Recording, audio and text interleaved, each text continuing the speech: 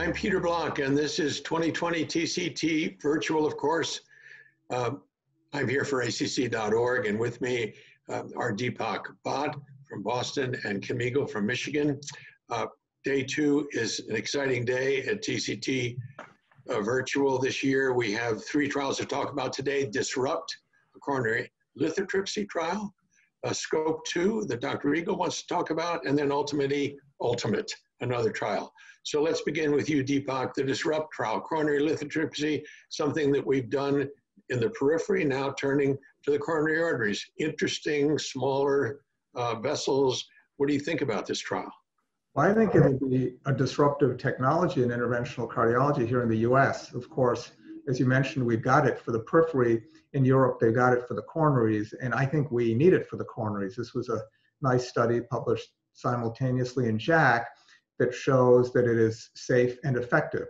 Now, it's not randomized, but the goal here, I think, is from an interventionist perspective to prepare a lesion so that you can go ahead and put a drug eluting stent in. And as those of us in the lab know, sometimes when lesions are heavily calcified, very difficult to get full expansion. And if you just throw a stent in there, well, those patients often come back with restenosis, even in the drug eluting stent era.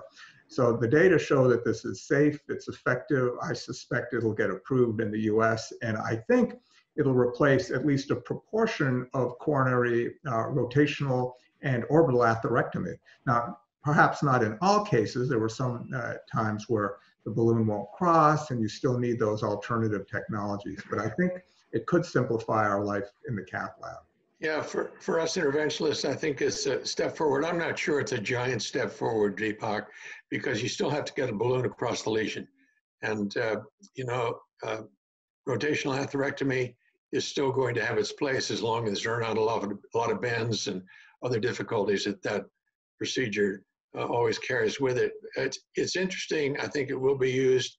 It's a fascinating concept and it works in the periphery. Uh, so uh, it'll be a nice little toy to put up on our shelves for armamentarium. Kim, let's move on to scope two, something a little bit more in your area of non-invasive uh, cardiology. So Peter, uh, scope two is an important study looking at uh, comparing different uh, self-expanding TAVR valves.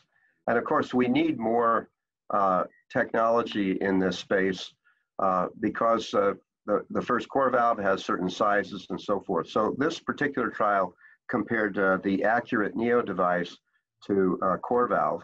Uh, and the, the newer device was available in uh, some smaller sizes down to 23 millimeters. The, the profile of the access catheter was larger. Uh, and so in the group that got the newer, the, the, this newer ACURATE valve, there was a higher incidence of uh, vascular complications. Um, also in that group where there might be a learning curve, the amount of severe aortic valve regurgitation was was higher in this first uh, 30 days or so. Contrary-wise, the, the need for pacemakers uh, was less uh, in this uh, new group.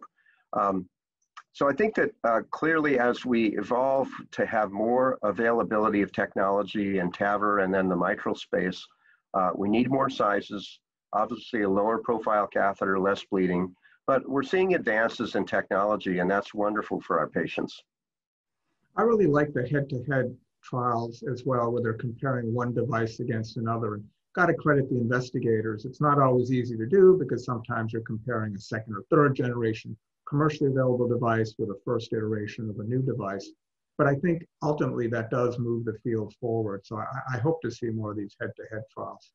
I agree with you, Deepak, and I, I think that um, clearly if, if you're dealing with a brand new valve and brand new uh, access catheters, uh, to have the company go ahead and say, well, we'll compare it to a more mature technology. We'll take that on. I admire that approach a great deal.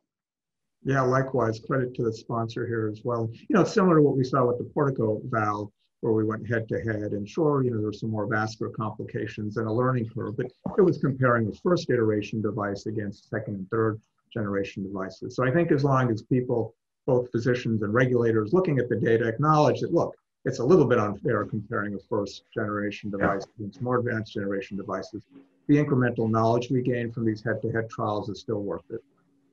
So, uh, Kim, if you've got a little gold star around, would you put that on your forehead because you've just become an honorary interventional cardiologist? That's awesome. Peter, you, you tried to teach me interventional cardiology, and after a few months, you uh, said it's not possible. okay, let's move on. The ultimate trial is the third trial today that we really need to discuss. Uh, I'm going to go back to Deepak for ultimate. Yeah, I, I, think this is the ultimate in intervention where it shows that using intravascular imaging can enhance the outcomes in the cath lab. And, and, this is consistent with really a growing body of data that supports that angiography alone or angiography alone is insufficient to optimize stent deployment. And using technologies such as intravascular ultrasound, as was assessed in this randomized trial, uh, can produce better outcomes. So you know, there's some added cost and time, of course, if you're using IVUS or OCT, which wasn't studied here, but it has been studied and is being studied in other trials. But I think uh, putting those issues of logistics and cost aside, uh, probably it does help improve patient outcomes, as this study did show. And this is a three-year outcome. Earlier data had been presented from Ultimate previously, and it shows that even at three years, there's a separation of the curve. So you know, probably something to this concept of doing the imaging and optimizing the stent deployment.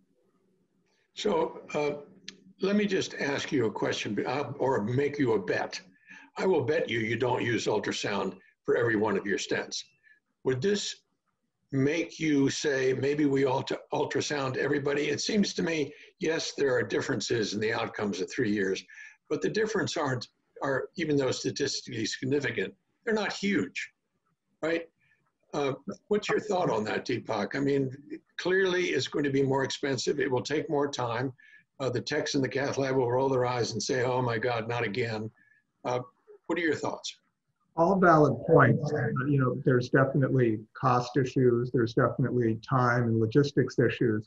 And the incremental gain might be modest. And, you know, there's, of course, the counter argument that if you just use higher magnification and you know, uh, sort of uh, orthogonal views, you can typically get to the same place. But uh, putting that uh, aside, I, I, do think there's something to it. And I think there's also oftentimes in interventional cardiology, you know, a herd mentality. And, and there is a bit of that going on with imaging. And I think imaging is just catching on. So I think in a few years, it's just going to be built into our cath labs. It'll be part of our workflow. The nurses and techs will be very familiar with the technology.